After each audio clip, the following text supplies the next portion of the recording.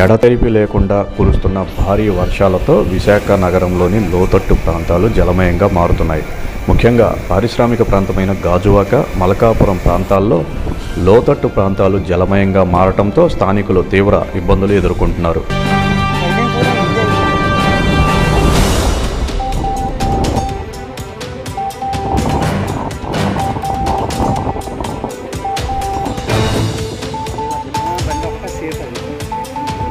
ఇక Malkapuram Indian oil corporation వద్ద రోడ్లపైకి వర్షపు నీరు పెద్ద ఎత్తున చేరడంతో ఆ ప్రాంతమంతా చెరువును తలపిస్తోంది. నిత్యం వందలాది లారీలు ఇక్కడి నుంచి ఆయిల్ను ఇతర ప్రాంతాలకు తీసుకెళ్ళేందుకు వస్తుంటాయి. టెర్మినల్ వద్ద రోడ్లన్నీ వర్షపు నీరు నిలవడంతో తీవ్ర ఇబ్బందులు తలెత్తుతున్నాయి.